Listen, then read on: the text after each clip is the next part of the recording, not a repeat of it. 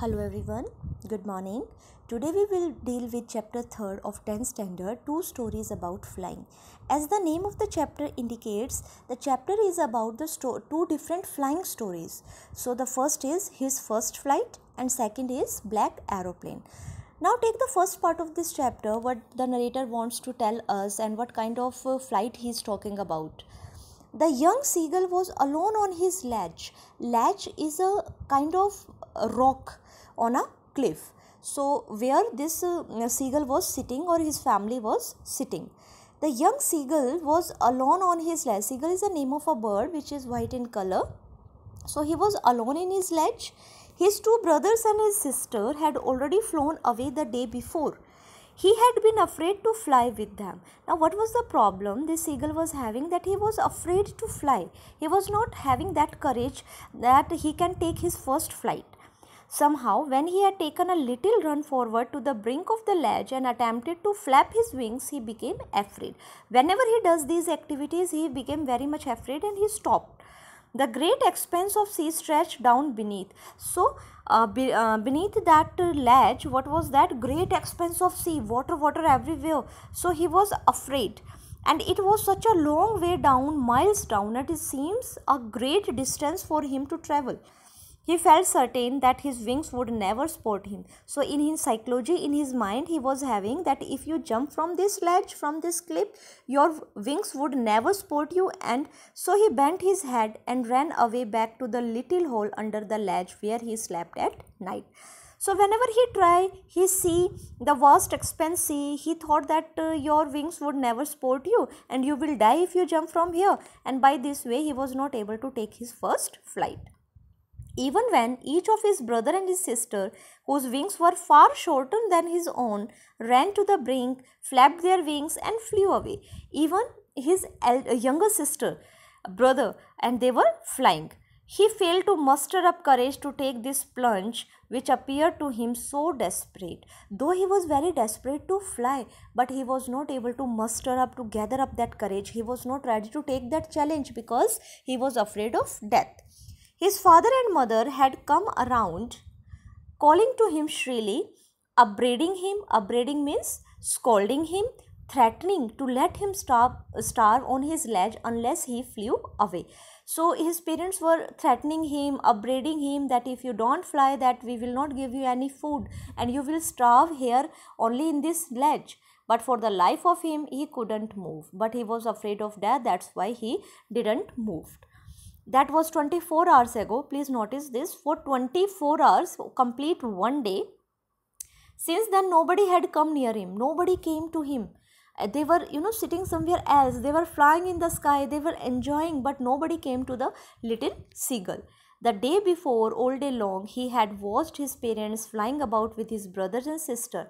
And by sitting at that particular ledge, he was watching his parents. They were flying with his brothers and sisters. And what they were doing? They were perfecting them in the art of flight, teaching them how to skim the waves and how to dive for a fish. So all these trainings, they, uh, his parents were giving to his uh, siblings, his brothers and sister. He had in fact seen his older brother catch his first herring and devour it. Herring is a soft fish, a sea fish. So he was observing everything, how his brothers and sisters are diving for fish, how they are, they are, you know, flying high in the sky, standing on a rock while his parents circled around raising a proud cackle. Proud cackle is a uh, proud voice proud you can appreciation so when he died for a fish then his parents were praising him and all the morning the whole family had walked about the big plateau midway down the opposite cliff taunting him with his cowardice. So what happened students? Uh, his family was sitting on the cliff opposite to the ledge where seagull was sitting just opposite to that cliff uh, they were sitting. And they were taunting that you are coward you are not able to fly you are not having that much courage. So like this they were taunting to him the sun was now ascending the sky. The sun was you know increasing uh, ascending towards the sky blazing. Blazing is a very uh, sharp heat. On his ledge that faced the south he felt the heat because he had not eaten since the previous nightfall. As you know that from last 24 hours nobody came uh, near him so he was hungry for one day. He stepped slowly out to the brink of the ledge. So slowly he came back at the edge of the ledge and standing on one leg with the other leg hidden under his wings. This is the activity of the bird that uh, from his wings he was covering his neck. He's closed one eye then the other. Here he is doing some drama, some you know tantrums to you know seek attention from his family. So he closed one eye then the other and pretended to be falling asleep and he was pretending that he is asleep. Still they took no notice uh, of him. They his family. Still nobody paid attention. He saw his two brothers and sisters lying on the plateau dozing with his, her uh, brother and his sisters lying on the plateau dozing with their heads sunk into their necks. His father was preening the feathers on his white back. So father is training them only his mother was looking at him. So the father uh, father is busy with other siblings and he was training them. Only mother was paying the attention towards little seagull. She was standing on a little high hump on the plateau. Hump is the curve on the plateau. She was sitting there her white breast thrust forward now and again. Thrust forward now and again is the process of respiration. The way she was you know inhaling and exhaling oxygen. So the moment that uh, you might have seen many birds especially uh, parrots and any other bird you notice that when they uh, inhale or exhale the breath their chest this now uh, moves like this she tore at a piece of fish that they lay, uh, lay at her feet and then scraped each side of her beak on the rock. The sight of the food maddened him. So the mother was having a you know a piece of fish.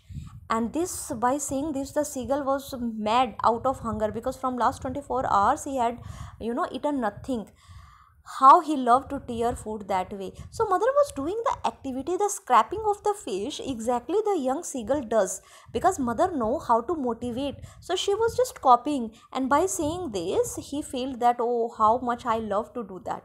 Scrapping his beak now and again to wet it, wet it, it to sharpen, sharpen it. Ga ga ga he cried begging her to bring him some food. When he saw that his mother is having a piece of fish then he gave some signal that i want some food. A call this is the sound of a revert back. She screamed back dervisely but he kept calling plaintively again and again.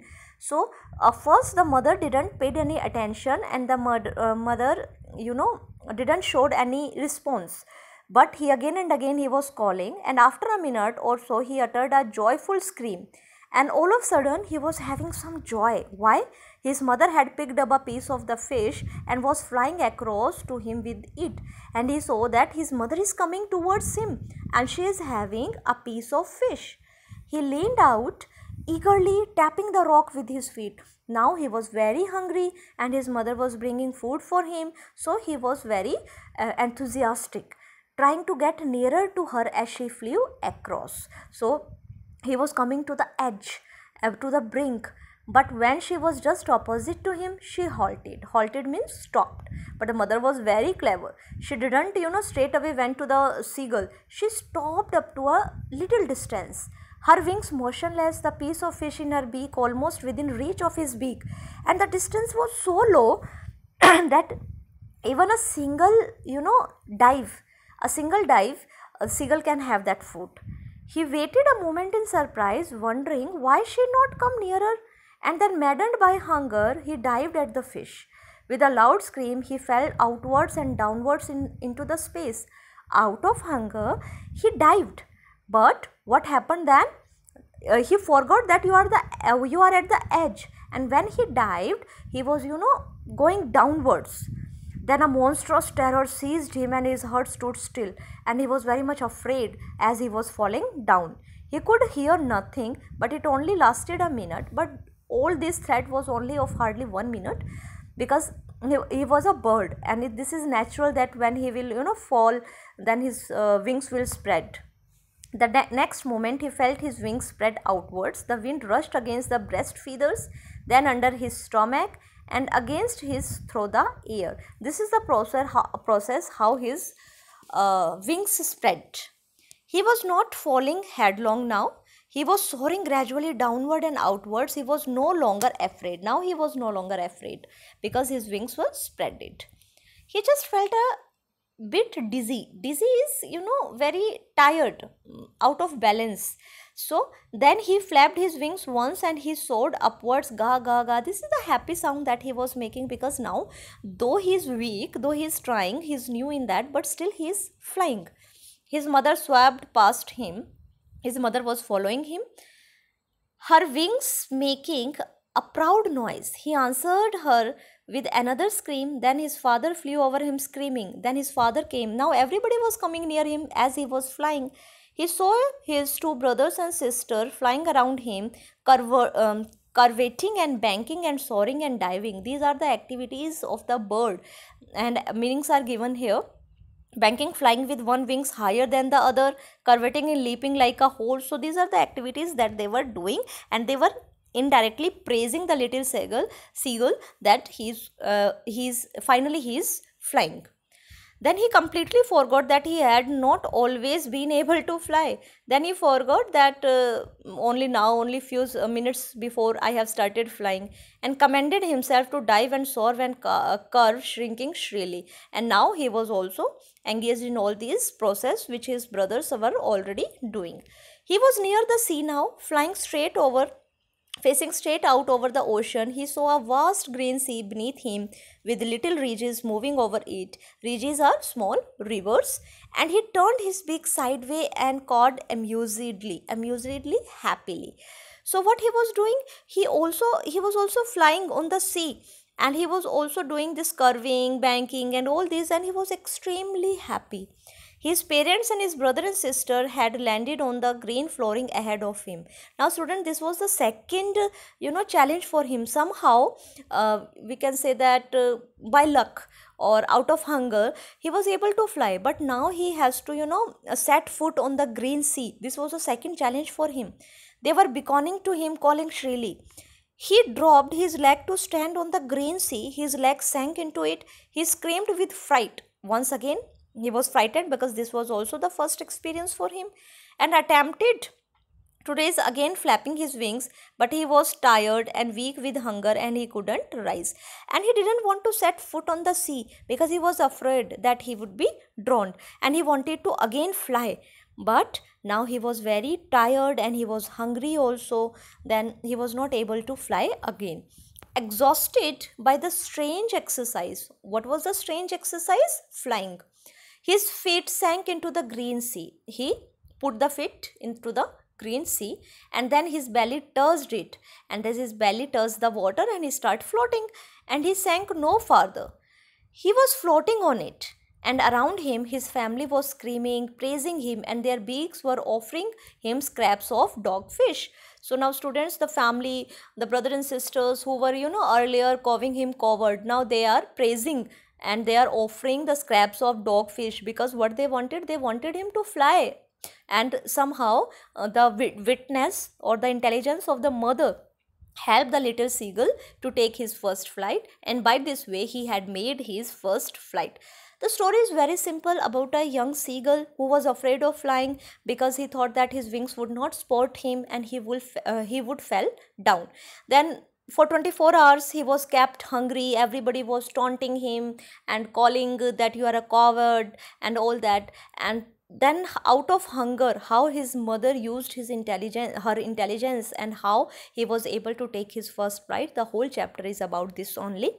The hard words and the explanation i have already provided you into the notes. Just study this chapter minutely and you will be able to answer the intertextual questions